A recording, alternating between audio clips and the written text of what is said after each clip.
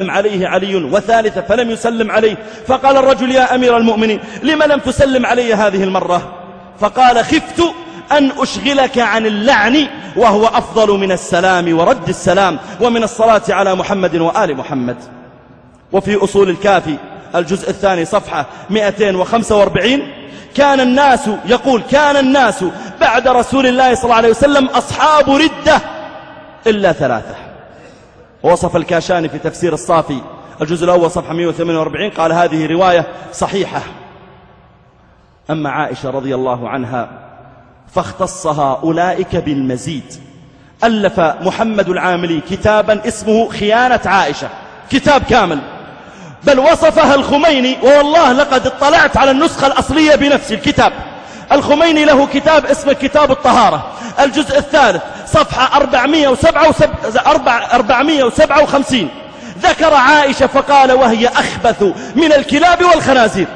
وفي كلامهم إيداء عظيم لرسول الله صلى الله عليه وسلم واعتداء وطعن في شرفه. وقد قال النبي صلى الله عليه وسلم لما قذفت وهو حي رقى النبي صلى الله عليه وسلم المنبر قال من يعذرني؟ من يعذرني؟ يعني من ينصفني؟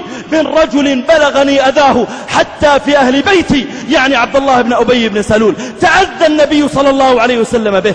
قال الإمام القرطبي عند تفسيره لقوله تعالى يعظكم الله أن تعودوا لمثله أبدا. في لما ذكر الله ذلك في قصة الإفك في أول سورة النور قال القرطبي يعني في عائشة لما في ذلك من أذية رسول الله صلى الله عليه وسلم في عرضه وفي أهله وذلك كفر من فاعله. كما أن الطعن في عائشة.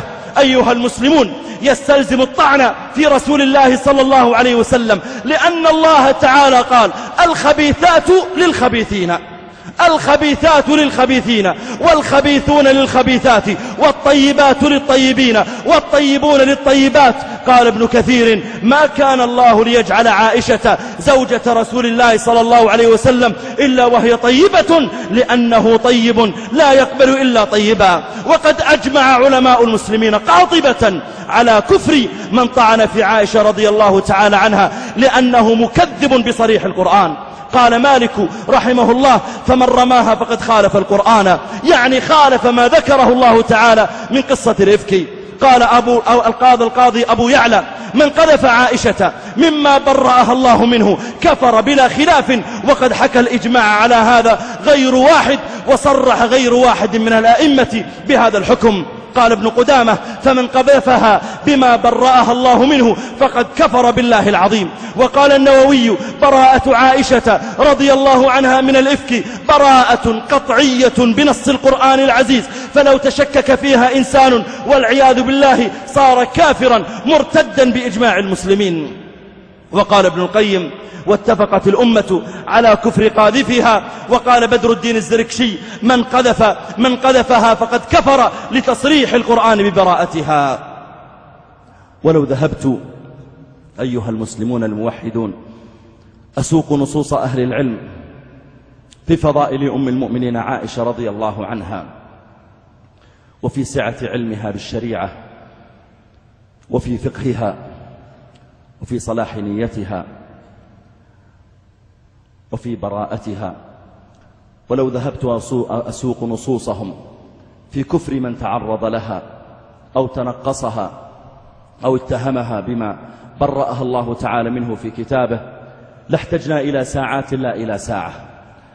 وإنما يحتج به الروافض على بعض الصحابة ليصلوا إلى تكفيرهم. لا يعدو أن يكون مواقف أو خلافات لا يخلو منها مجتمع. موقف وقع ما بين أبي بكر وفاطمة رضي الله عنهما. يأتون إلى هذا الموقف الذي يقع في أي مجتمع؟ خلاف عادي خلاف في وجهات النظر. ثم يأتون ويعظمون الموقف حتى يصلوا به إلى تكفير أبي بكر رضي الله تعالى عنه. ويتغافل عنه إذ يقول لصاحبه لا تحزن إن الله معنا. ويقول الله تعالى إذ هما في الغار. وقول النبي عليه الصلاة والسلام عن أبي بكر هل أنتم تاركوا لصاحبي؟ كل هالآيات والأحاديث يضربون بها عرض الحائط ويقولون اختلف مع فاطمة رضي الله عنها إذا هو كافر بالله العظيم ويسبونه صباحا ومساء. أو يأتون إلى علي ومعاوية رضي الله عنهما. خلاف بشري بين رجلين. اختلاف بناء على وجهات نظر.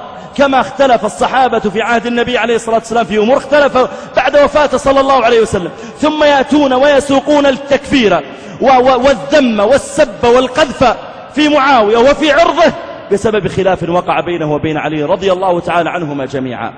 أو يأتون إلى مواقف لعائشة أو مواقف لعبد الله بن الزبير أو إلى غيرهم وهي تصرفات واجتهادات تقع من أي إنسان. ويتغافلون ويتناسون ما ذكر الله تعالى في كتابه من الترضي عن الصحابة الكرام والثناء عليهم. ويأتون إلى نقائص كمثل الذباب لا يقع إلا على الخبائث. أيها المسلمون إن هذه العقيدة الدخيلة على الإسلام التي تولى كبرها أحفاد وشبهاء للمجوس الأوائل الذين غلوا في الأشخاص ورفعوهم فوق منازلهم غلوا في أشخاص معينين ثم بدأوا يقعون في الإسلام وأهله وهؤلاء غلوا في علي رضي الله تعالى عنه وفي آل بيت رسول الله صلى الله عليه وآله وسلم ونسبوا إليهم أشياء والله لو قام علي رضي الله تعالى عنه من قبره ورأى غلوهم فيه لا أستبعد لا أستبعد أن يفعل بهم ما فعل بالأوائل الذين غلوا فيه.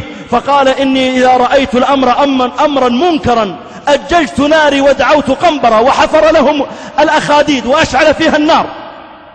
لأجل ألا يغلو فيه رضي الله تعالى عنه. لا يرضاها علي لنفسه ولا يرضاها الحسن ولا الحسين ولا آل بيت رسول الله صلى الله عليه وسلم. نسأل الله سبحانه وتعالى أن يصلي على نبيه وعلى آله ما ذكره الذاكرون الأبرار. وأسأل الله تعالى أن يرضى عن أم المؤمنين عائشة. ومن لم يرضى بها أما له فليس من المؤمنين. أسأل الله أن يرضى عنها وأن يرفع بذلك درجاتها. قولوا ما تسمعون واستغفر الله الجليل العظيم لي ولكم من كل ذنب. واستغفروه وتوبوا إليه. إنه هو الغفور الرحيم.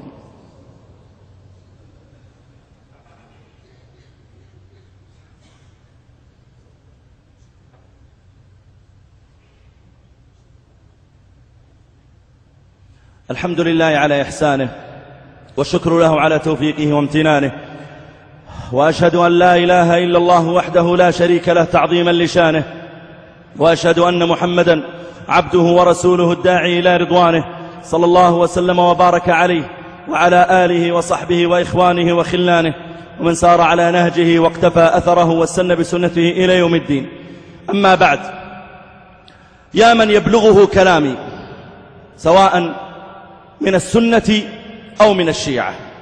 سواء ممن يحضرون معنا في المسجد أو ممن يشاهدونني الآن في فضائيات أو ممن يشاهدونني من خلال الإنترنت سواء على الهواء مباشرة أو بعد ذلك.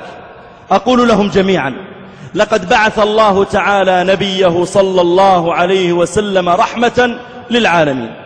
وأمر الله تعالى جميع أتباع النبي عليه الصلاة والسلام برحمة الخلق أجمعين.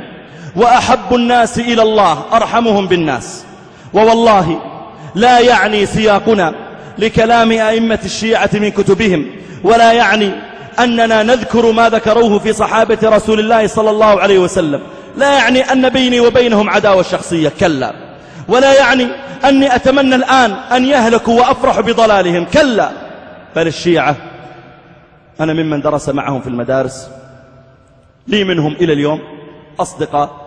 لي منهم إلى اليوم مجالسون أجالسهم ودخل منهم أقوام في بيتي زاروني وزرتهم. لم آتي إلى أحد منهم بسيف أو خنجر وأطعنه به. ولو استطعت أن أفعل ذلك ما فعلته إنما هي رحمة جعلها الله في قلوب المؤمنين لذلك. هو صديق ومجالس لي. أرجو بصداقتي ومجالستي له أن ينتفع أن يصلح حاله. وهذا الذي أوجب الله على المؤمنين من الرحمة بالخلق. وعدد كبير من الشيعة خاصة من شبابهم وفتياتهم ومن عقلائهم لما تبين لهم الحال وعرفوا فعلا أن سبيل المؤمنين القول بكمال القرآن وعدم زيادته ونقصانه وسلامته من التحريف والقول بالترضي عن الصحابة الكرام وعدم الغلو في أحد منهم ودعاء الله تعالى وحده لا شريك له لما عرفوا العقيدة الصحيحة رجعوا عما كانوا عليه وهم أقوام كثر. قبل رمضان جاءني رسالة من أحد الشباب. كان قد أرسل إلي رسالة من عدد من الرسائل التي أتت إلي ذما وقدحا وقذفا في بعدما قلت على هذا المنبر كلمتين على مرجع من مراجعهم. فكنت كلما وصلت إلي رسالة تسبني.